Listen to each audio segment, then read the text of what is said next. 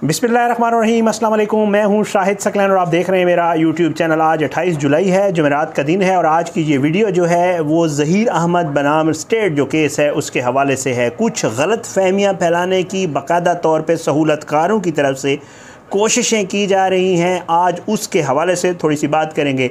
सबसे पहले तो आपने ख़बर सुनी होगी कि जो है, जो बच्ची है, मगविया बच्ची, उसके कान में जो ज़हीर का वकील है, उसने कोई बात की थी। इस हवाले से मुझे क्या इन्फॉर्मेशन मिली है, वो मैं आपके साथ शेयर करूँगा। क्योंकि मैं पूछता होता हूँ, वहाँ पर जितने दोस्त मौजूद थे, उनसे मेरी बात हुई है। अदालत के अंदर से भी मुझे जो इन्फॉर्मेशन मिली है वो मैं आपके साथ शेयर करूँगा क्या उसने कोई बात की। दूसरा जो अली काजमी साहब हैं मकबिया बच्ची के जो वालद हैं, उनकी लड़ाई की खबरें जो है वो फैलाई जा रही हैं और कहा जा रहा है कि ज़राए ने हमें बताया है कि फ़लाँ से फ़लाँ से फ़लाँ से, और बड़ी लड़ाई हुई है जी, ये हो गया, वो हो गया आ, मैंने इस चीज़ को चेक किया है कंसर्न लोगों से मेरी बात हुई है आ, तो उसके हवाले से असल ख़बर है क्या वो आपके साथ शेयर करूँगा और क्यों ये बात किस चीज़ को बेस बना कर की गई है वो आपको वो चीज़ दिखाऊँगा भी सही। तो आगे चल के आपने वो भी देखनी है और सबसे एंड पे जो सहूलतकार वहाँ मौजूद हैं उन्होंने पैगाम रसानी की, बाकायदा तौर पर कल कोशिश की कोशिश की कि कोई ऐसा जेस्चर दिया जाए मगविया बच्ची की तरफ़ से कि उनका काम बन जाए, जिस काम के लिए वो वहाँ पर गए हुए हैं। दरअसल वो मामला क्या था और कल क्या कुछ हुआ थोड़ी सी ये चीज़ें आपके सामने। आपकी क्लियरेंस के लिए आप लोग मुझे बार बार अल्लाह आपका बहुत बहुत शुक्रिया कि आप लोग देखते भी हैं, फिर मुझे कॉन्टैक्ट भी करते हैं। तीनों मीडियम्स में चेक करता होता हूँ अपना, मैं कमेंट्स चेक करता हूँ यूट्यूब के, मैं फेसबुक पे भी हूँ, मैं इंस्टाग्राम पे भी हूँ। आप मुझे व्हाट्सएप नंबर मेरा आप लोगों के पास है, बहुत सारे लोगों के पास मुझे मैसेज कर रहे होते हैं। तो आप लोगों ने बड़ा कंसर्न शो किया था। तो मैं ये तीनों जो कंसर्न हैं, ये आपके साथ इन जो मुझे इन्फॉर्मेशन है, वो मैं फैक्ट्स के ऊपर जो मुझे मिली है, वो मैं आपके सामने रखने की कोशिश करूँगा। सबसे पहले तो गुजशत रोज़ जो है वो आपको पता है, एक समात हुई और ये समात ओनली प्रोडक्शन आर्डर था, ताकि मगविया के जो बुनियादी हकूक़ हैं, उनके हवाले से जज साहब ने कहा था कि मैं चेक कर सकूँ आर्डर भी पढ़ के पूरा मैंने आपको रात सुना दिया था। तो आपको इल्म हो गया होगा कि वो समात क्यों थी। लेकिन इस दौरान जो है, एक कोशिश की गई और आज तक ज़ोर लगाया जा रहा है बाकायदा तौर पर इस चीज़ को जानते हुए कि जी, एक तो माइनर का कोई स्टेटमेंट नहीं होता और अगर स्टेटमेंट हो भी सही तो एक दफ़ा ही होता है। इस तरह के केसेस में और हो चुका हुआ है। फिर भी कोशिश की जा रही है और कहा यह जा रहा है कि शायद कोई और दरख्वास्त दरख्वास्त दी जाएगी ताकि मगविया का जो है, वो एक स्टेटमेंट जो है, वो रिकॉर्ड किया जाए। बहरहाल, कल कोशिश की गई, अदालत के अंदर से जो मुझे इन्फॉर्मेशन मिली है, वो ये है कि मैं आपको पहले भी बता चुका हूँ कि कल कोशिश की गई, बाकायदा तौर पर कि जी कहा गया कि जी, बच्ची, जज साहब को कहा गया कि, बच्ची जी, आपसे कुछ कहना चाहती है प्लीज़ आप इसकी बात सुन लें। जो जज साहब ने जहरी बात है टर्न ऑन की, और ने कहा कि जी, मामला जो है, वो अभी बात करने वाला नहीं है। फ़िलहाल मैंने सिर्फ़ जो शेल्टर होम है, उसके हवाले से पूछना है कि जी, उसमें तो उनने बाकायदा बच्ची से पूछा कि जी, आप वहाँ सेटिस्फाइड हैं? तो बच्ची ने कहा, जी, मैं सेटिस्फाइड हूँ, ये है, वो है। जो भी बात हुई तफसीलों में, आपको बता चुका हूँ रिपीट नहीं करता।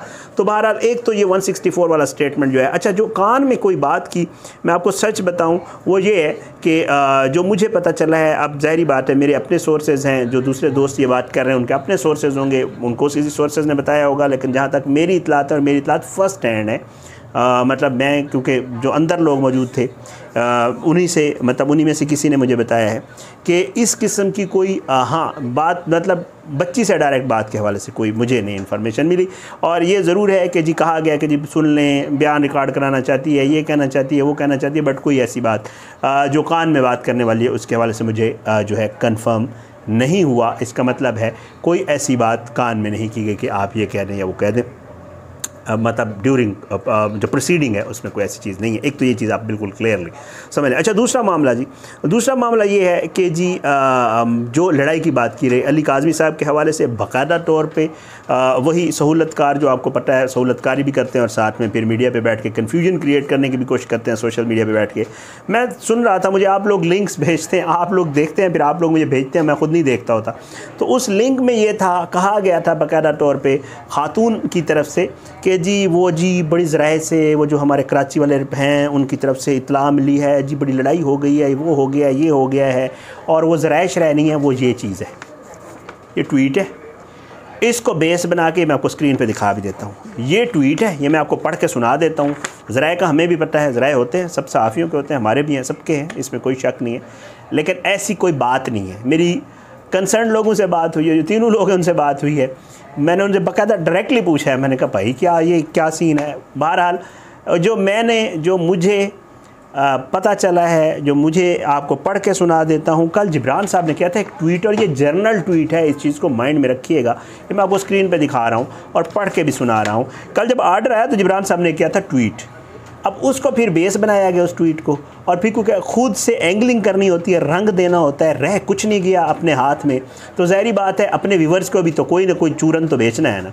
तो चूरन बेचने के लिए ये सारा मामला किया गया। ट्वीट में आपको पढ़ के सुना देता हूँ। जिब्रान ट्वीट करते हैं कि important Zaheer Ahmed case learned magistrate has place child in custody of child protection institute with direction that no one meets her without court's permission ये आपको मैं कल बता चुका हूँ कि जी कोर्ट की परमिशन के बगैर कोई भी नहीं मिल सकता। आगे जिब्रान लिखते हैं any attempt to meet child without permission by other parents media political figures will harm the case अब इसमें कौन सी बात लड़ाई वाली? किसी, ये वालदेन के हवाले से भी जिब्रान ने खुद कहा है कि अगर वालदेन मिलेंगे मीडिया का कोई बंदा मिलेगा या कोई पॉलिटिकल फिगर मिलेगा, बच्ची से तो ये केस को नुकसान पहुँचाने के मुतरदफ हो गए। ये टोटली एक जर्नल ट्वीट है, क्योंकि मैं भी अटैम्प्ट कर सकता हूँ। कोई और मीडिया फिगर वहाँ पे जो कराची में मौजूद है, हम मीडिया वालों के तलक़ात होते हैं, हम लोगों को कॉल करवा के, कोशिश कोई मीडिया वाला चाइल्ड प्रोटेक्शन ब्यूरो के किसी किसी बड़े अफसर को फ़ोन करवा के जाके वहाँ वो देख सकता है, मिल सकता है। तो जबरान ने कहा कि जी, ये सारे मामला जो हैं, ये पहुँचा सकते हैं नुकसान। एक चीज़ मैं आपको ज़रूर कहना चाहूँगा, मैं, बड़ा ज़रूरी है ये कहना। जबरान नासिर के हवाले से मैं आपको बता दूँ, मैं क्योंकि मीडिया में हूँ और मैं बड़े अच्छे से उस शख्स को जानता हूँ वो वो एक एक्टिव एक्टिविस्ट भी है और भी बहुत सारी उसकी तारीफ़ें हैं इस मामले में। वो ये सारे केसेस फ्री ऑफ़ कास्ट लड़ता होता है, या मैं आपको वाज तौर पे बता दूँ, इसके पैसे नहीं लेता होता, बल्कि मैं आपको सच बताऊँ मेहानी के हवाले से बहुत ज़्यादा ज़िक्र करते हैं, शायद भाई वहाँ से कवर भी कर रहे हैं, क्योंकि वो वहाँ पर मौजूद है, उनके हवाले से मुलाकात हो जाती है शायद हुसैन की। तो उमे हानी के वालद भी अब गाइडलाइन के लिए जिब्रान के पास आते हैं। जिब्रान ये case without any any political, without any linguistic, without any sectarian, without any किसी भी किसी भी अटैचमेंट के बगैर ये केसेस लड़ते होते हैं। वो जो कन्वर्टेड लड़कियाँ होती हैं, जो हमारी हिंदू जो हैं यहाँ पे और उनकी कन्वर्टेड बच्चियाँ, ये जो सिंध में जो कुछ होता है कि वहाँ से जो है बच्चियों को उठा के और इस्लाम कबूल करवा के और फिर उसके बाद निकाह किया जाता है। उनके केस भी लड़ते हैं और वो वो भी फ्री ऑफ़ कॉस्ट लड़ते हैं। जिब्रान का हमेशा ये कहना है कि वो क्लाइंट से केस लेते हैं, किसी एनजीओ या किसी पॉलिटिकल फिगर से नहीं लेते होते। तो बहरहाल, ये बड़ी क्लियरली मैं आपको एक चीज़ बता दूँ, ऐसी कोई बात नहीं है। ये सिर्फ़ और सिर्फ़ अपना चूरन बेचने के लिए सारा कुछ किया गया है और इसमें कोई हकीकत कहीं भी नहीं है। एक तो ये चीज़। अच्छा अब आगे चल के एक और बात बताऊँ। कल जब ये जो है समात थी, जब प्रोसीडिंग हुई प्रोसीडिंग के बाद जो है, जब बच्ची को ले आया गया, सच बताऊँ जिस दोस्त ने ये वीडियो बनाई थी, जिस दोस्त ने ये वीडियो जो अपने सोशल मीडिया पे लगाई थी यूट्यूब पे शायद हुसैन ने, सिर्फ़ वो और एक और रिपोर्टर मौजूद थे वहाँ पे, कोई भी नहीं था। आज मैंने ये सुना है, ख़ातून ने ये कहा है कि जी वो एजेंसियों वालों को हमने पता नहीं केड़ी एजेंसियाँ हैं। मैं एजेंसियों वालों से भी पूछूँगा कि जी पता नहीं कौन से एजेंसियों वाले लोग रबते में तो उनसे मैं भी कोशिश करूँगा कि मैं भी पता कर लूँ कि कैसे सूरत हाल है। तो बहरहाल जी, कि जी इन्होंने कहा था और एजेंसियों वालों ने इसलिए तो वहाँ भाई शाहिद हुसैन था, वो वहाँ का बहुत पुराना रिपोर्टर है। उसी ने ये वीडियो बनाई है और उस जो तफ्तीश अफसर उसने पिस्टल निकाला है, बिल्कुल निकाला है। ये सिचुएशन थी वहाँ सिक्योरिटी की। वापस जाते हुए लाहौर से कुछ सहूलतकार बाकायदा तौर पर भेजे गए हैं और उनका सिर्फ़ काम यही है। उस दिन जहीर की पेशी के ऊपर भी और मगविया बच्ची की पेशी के ऊपर भी उन्होंने यही किया है। वो जाते हुए आपने देखा होगा शबीर की एक आई थी विक्ट्री बनाए हुए तस्वीरें और वीडियोज़ और उन्हीं के कैमरे से बनी हुई क्योंकि उनकी कोशिश है जहरी बात है उन्होंने अपना जो एजेंडा है जो उन, उनका अपना जो चूरन है वो बेचना है तो उन्होंने उस तरफ़ का जहरी बात है मौक़ कुछ ना कुछ तो करना है ना और स्पेशली भेजा गया तो अब उसने जो है कोशिश की कल वो बाकायदा भागा। वीडियोज़ मौजूद हैं मैं नहीं कह रहा हूँ मुख्तलिफ़ चैनल्स ने वीडियोज़ दिखाई हैं मैं वीडियोज़ नहीं दिखाता होता। भागा बाकायदा तौर पे, वहाँ सहाफ़ी दोस्त जो मौजूद हैं, उन्होंने बताया कि बाकायदा भाग के पीछे लटकने की कोशिश की जो पुलिस की गाड़ी थी और ये कोशिश की गई थी, किसी भी तरीके से वो जो मगविया बच्ची है कोई जेस्चर दे दे, बाकायदा क्वेश्चन किए गए कि जी, जहीर आपके साथ खड़ा है, आप जहीर के साथ खड़ी हो, नहीं खड़ी हो, कुछ तो बता दो, खुदा के लिए कुछ बोल दो, ठीक है, इस तरह की जारी बात है। वहाँ जो मौजूद सहाफ़ी होते हैं दे नो एथिक्स वहाँ जो मौजूद सहाफ़ी होते हैं, वो सहाफ़ी हैं उनका कोई और काम जारी बातें नहीं है बट इनका कुछ और है एजेंडा। तो ये कोशिश की गई और वहाँ पे दोस्त वकला ने भी बताया कि इस तरह की कोशिश की गई। लेकिन वो कोशिश भी नाकाम हुई। कोशिश की गई कि शायद वो कोई जेस्टर दे दे, कोई बात कर दे, जिसको बाद में फिर सोशल मीडिया पे और मीडिया के ऊपर उछाला जाएगा और फिर उसके बाद उसको अपना रंग देकर अपने एजेंडे को जो है वो प्रमोट किया जाएगा। तो ऐसा कुछ भी नहीं हुआ कल। तो ये एक कोशिश थी, एक अटैम्प्ट थी, लेकिन वो जो भगविया बच्ची है, वो खामोश रही, उसने कोई बात नहीं की, जितनी भी कोशिश की गई, जितना भी स्टिगेट करने की और वो करने की कोशिश की गई, कुछ भी नहीं हुआ। तो ये भी एक कल कोशिश की गई सहूलतकारों की तरफ़ से, वहाँ समाज जो प्रोसीडिंग थी उसके हवाले से।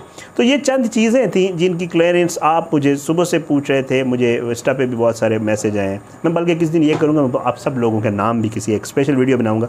उसमें जो मुझे मैसेज करते हैं व्हाट्सएप पे इंस्टा पे फेसबुक पे, मेरे जितने सोशल वो हैं तो मैं उनके नाम भी किसी दिन को एक वीडियो बनाऊँगा जो मेरे मेरे व्यूवर्स के लिए होगी कि ये ये लोग मुझे बड़ा रेगुलरली फॉलो करते हैं। तो आप लोग मुझे पूछ रहे थे इन चीज़ों का क्लियर करना बड़ा ज़रूरी था। खुदारा कन्फ्यूज़न क्रिएट की जाएगी। एजेंडे के तहत चीज़ों को मैनिपुलेट किया जाएगा। बहुत सारी चीज़ें ऐसी की जाएँगी कि आपको लगे वो हो ये क्या हो गया? कुछ भी नहीं हो रहा। चीज़ें अपने आ, जो कानून है उसके मुताबिक चल रही हैं। चीज़ें अपने तरीक़ाकार से चलेंगी। चीखने चिल्लाने से इनके कुछ करने से कुछ भी नहीं होगा। होगा वही जो कोर्ट कर रहा है और वो कानून के मुताबिक है। लीगल राइट्स हर किसी के पास हैं। काजमी साहब की जो फैमिली है, उनके पास भी हैं और इनके पास भी हैं। तो ये भी अप्लाई करेंगे, वो भी अप्लाई करेंगे बट देखा यह जाएगा कि सच पे कौन है, हक पे कौन है, और उसी के मुताबिक ही फैसला होगा। बहरहाल ये चीज़ें क्लियर करनी थी, कुछ मजीद चीज़ें इंशाल्लाह अगली वीडियो में आपके सामने रखूँगा। आज की स्टूडियो से आने वाली स्टूडियो तक ले इजाज़त है अपने दवा याद रखें। पाकिस्तान जिंदाबाद, अल्लाह हाफिज़।